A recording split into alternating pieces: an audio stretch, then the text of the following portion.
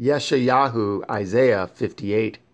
Cry aloud, spare not, lift up your voice like a shofar, and show my people their transgression, and the house of Yaakov their sins.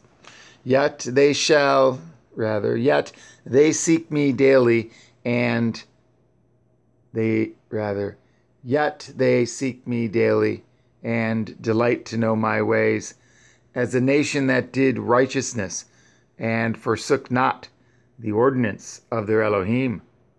They ask of me the ordinances of justice. They take delight in approaching to Elohim. Wherefore have we fasted, say they, and you see not? Wherefore have we afflicted our soul, and you take no knowledge? Behold, in the day of your fast ye find pleasure and exact all your labors. Behold, ye fast for strife and debate, and to smite with the fist of wickedness.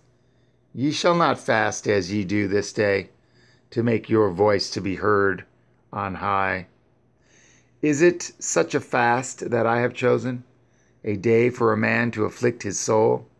Is it to bow down his head as a bulrush, and to spread sackcloth and ashes under him? Will you call this a fast? And an acceptable day to Yahuwah? Is not this the fast that I have chosen? To loose the bands of wickedness, to undo the heavy burdens, and to let the oppressed go free, and that ye break every yoke? Is it not to deal your bread to the hungry, and that you bring the poor that are cast out to your house? When you see the naked, that you uncover him, and that you hide not yourself from your own flesh? Then shall your light break forth as the morning, and your health shall spring forth speedily, and your righteousness shall go before you.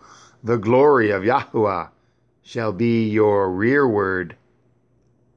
Then shall you call, and Yahuwah shall answer. You shall cry, and he shall say, here I am. If you take away from the midst of you the yoke, the putting forth of the finger, and speaking vanity, and if you draw out your soul to the hungry, and satisfy the afflicted soul, then shall your light rise in obscurity, and your darkness be as the noonday and Yahweh shall guide you continually and satisfy your soul in drought and make fat your bones. And you shall be like a watered garden and like a spring of water whose waters fail not. And they that shall be of you shall build the old waste places. You shall raise up the foundations of many generations, and you shall be called the repairer of the breach, the restorer of paths to dwell in.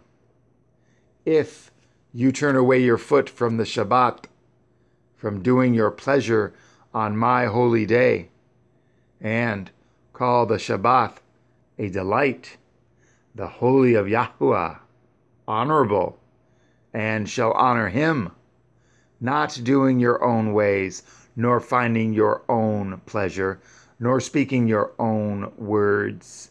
Then shall you delight yourself in Yahweh, and I will cause you to ride upon the high places of the earth, and feed you with the heritage of Yaakov, your father. For the mouth of Yahweh has spoken it.